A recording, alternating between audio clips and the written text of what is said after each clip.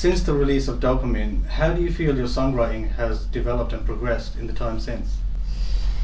Uh, in the time since, well, um, I I did a lot of touring over the past couple years um, with the record for Dopamine or Dopamine record, and um, I feel like I by the end of that tour, I was um, I heard the songs completely different because uh, when you're in the studio making an album versus when you're touring with the album, they kind of turn into they find their own like different lives or whatever they they mature as songs in a way. Um, so I think uh, the record that I just finished, um, I just had a chance to really kind of know in the beginning kind of what I wanted to accomplish as far as uh, influences and um, the sort of uh, instruments that I wanted on it. Um, and uh, the first record, I didn't really. I kind of just like started it and recorded it and then hit the road. So, yeah. And in terms of subject matter and expressions, I mean, I understand locations often inspire sounds and ideas for yourself. Do you tend to pull often from whilst you're on the road?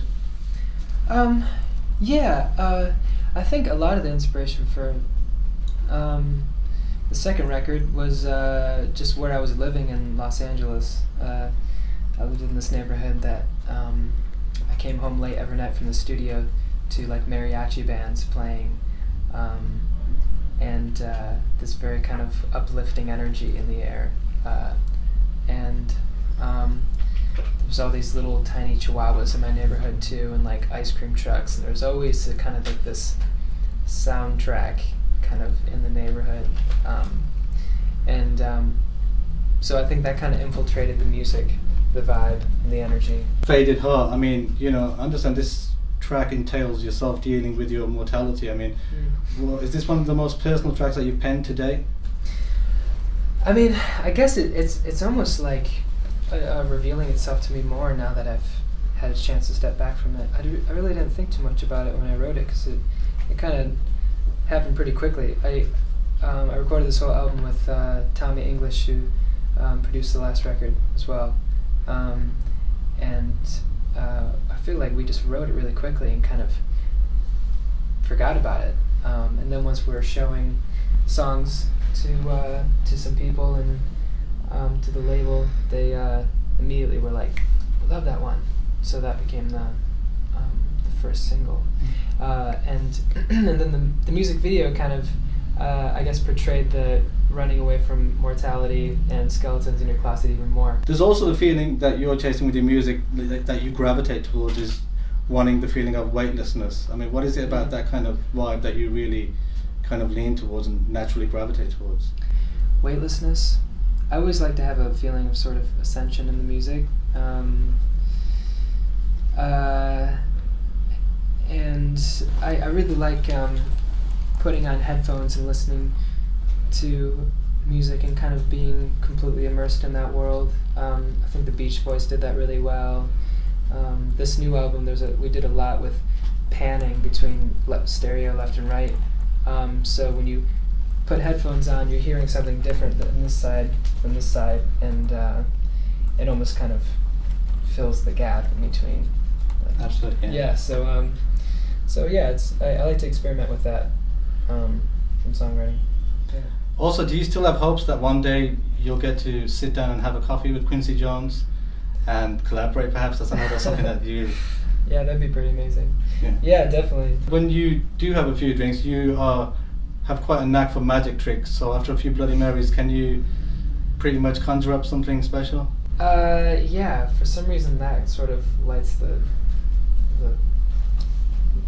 magician fire in me um, awakens the wizard.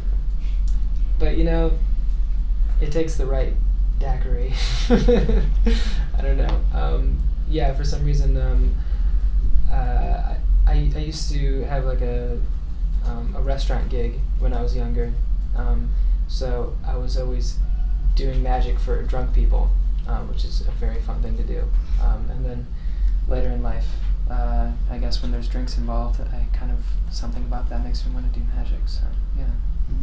And you know, I mean, like, what what's downtime like for you? I understand that you know, just getting out in nature and unplugging is something that's essential for you just walking amongst trees. I mean, do you like to kind of escape the noise and escape city life and kind of just keep the mindset fresh in that manner? Yeah, I think it's kind of. Um, I think it's just something that I always did as uh, a kid.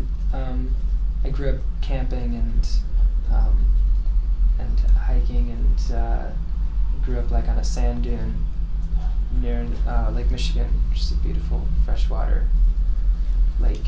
So I think it just kind of helps me go back to that, you know, that that inner child, that inner like genesis of creativity.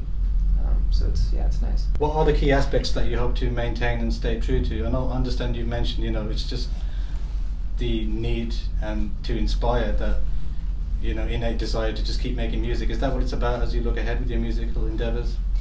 Yeah, I think so. I think it's always just kind of, um, it, it's a lot of it's um, kind of uh, bringing up internal conversations that I have and trying to um, put them into, you know, a song, and because it kind of helps me realize things, uh, maybe even um, subconsciously that I didn't realize when I was um, writing it. Um, but uh, yeah, I think you can. Um, I think it's it, there, there's always a, uh, inner quest, inner search um, for uh, for new musical concepts, and yeah, if that made any sense at all.